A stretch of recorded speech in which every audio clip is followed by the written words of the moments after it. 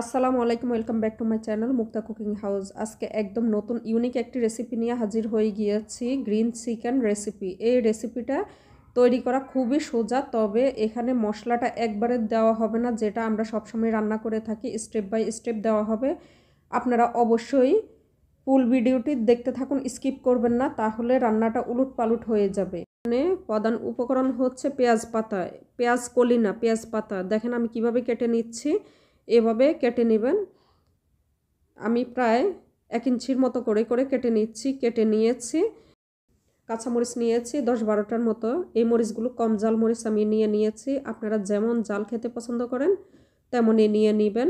আর নিয়ে নিচ্ছি দনে পাতা। অবশ্যই ফ্রেশ দনে পাতাটা নেওয়ার চেষ্টা করবেন, তাহলে কালারটা সুন্দর আসবে। এখানে নিয়ে নিয়েছি দশ বারোটা কাজু বাদাম। কাজু বাদামগুলো আমি ভিজিয়ে রেখেছি, এগুলো পরে ব্লেন্ড করে নেব। এখানে ফুটন্ত গরম পানি নিয়ে নিয়েছি, দেখতে পাচ্ছেন, বাষ্প উঠতেছে। এর মাঝে এখন আমি দিয়ে দিব পেঁয়াজ পাতা। পেঁয়াজ পাতাটা আগে ধুয়ে নিয়েছি, দিয়ে দিচ্ছি কাঁচামরিচ এবং দিয়ে দিচ্ছি ধনে পাতা। সবগুলো দিয়ে এক মিনিটের মতো বয়েল করে নিচ্ছি গরম পানিতে। অবশ্য ফুটন্ত পানিতে করে নিতে হবে। তো দিয়ে আমি এক হতে দেড় মিনিটের মতো রেখেছি। রেখে সাথে সাথে বরফ পানিতে এখন ট্রান্সফার করে নিচ্ছি। অবশ্যই এই কাজটি করতে হবে। পারফেক্ট গ্রিন কালার পেতে চাইলে। এখানে সময়টা অবশ্যই মনে রাখবেন কোনটা কতটুক সময় নিয়েছি। আর বরফ পানিতে অবশ্যই দিয়ে দেবেন, না হলে ওভার কুক হয়ে যাবে। তো আমি ঠান্ডা পানিতে দিয়ে দিয়েছি। দিয়ে এখন আবারও সেকে নেব। সেকে একটা ব্লেন্ডার জারে নিয়ে নিচ্ছি, এগুলো ব্লেন্ড করে নেব। আমি ব্লেন্ড করে নিচ্ছি, আর অন্যদিকে এখানে নিয়ে নিয়েছি দেড় কেজি ওজনের ব্রয়লার মুরগি। আপনারা যে কোনো মুরগি নিয়ে নিতে পারবেন আপনাদের পছন্দের। আমি আমার পছন্দ মতো এগুলো কাট করে নিয়েছি, কাট করে ধুয়ে পরিষ্কার করে নিয়েছি। এখন চলে যাব চুলায়। চুলায় একটি প্যান বসিয়ে দিয়েছি। এখানে দিয়ে দিচ্ছি তেল।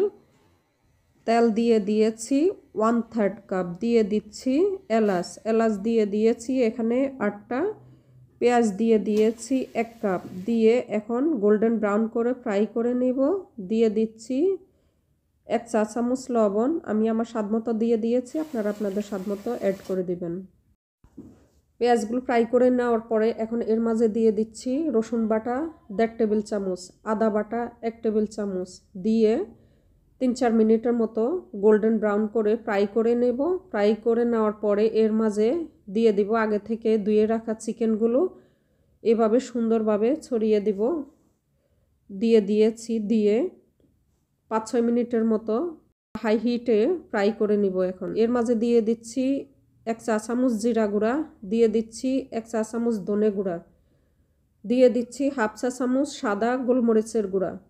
আমি এখানে সাদা দিয়ে দিয়েছি, আপনারা চাইলে কালো গোলমরিচটাও অ্যাড করে দিতে পারবেন, তবে জালটা একটু মাথায় রেখে দিবেন, কারণ এখানে কাঁচামরিচের জালটা অ্যাড হবে, তাই একটু চিন্তা করে দিবেন। ভিডিওটি স্কিপ না করে ফুল ভিডিওটি দেখতে থাকুন, কারণ এখানে স্টেপ বাই স্টেপ মশলা সব কিছু দেওয়া হবে। সামান্য পরিমাণে দিয়ে দিয়েছি হলুদের গুঁড়া।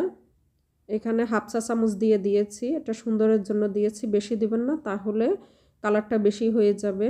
তো মাংসের উপর তেল উঠে এসেছে, এর মাঝে দিয়ে দিচ্ছি এখন দুই কাপ গরম পানি, যে পানিতে পেঁয়াজের পাতা দনে পাতা এবং কাঁচামরিচ বয়েল করেছিলাম, ওই পানিটাই দিয়ে দিয়েছি। দিয়ে ডাকনা দিয়ে ডেকে দিয়েছি। এখন দিয়ে দিচ্ছি এর মাঝে কাজু বাদাম বাটা। প্রায় আমি দশ মিনিট পরে ডাকনাটা খুলে নিয়েছি।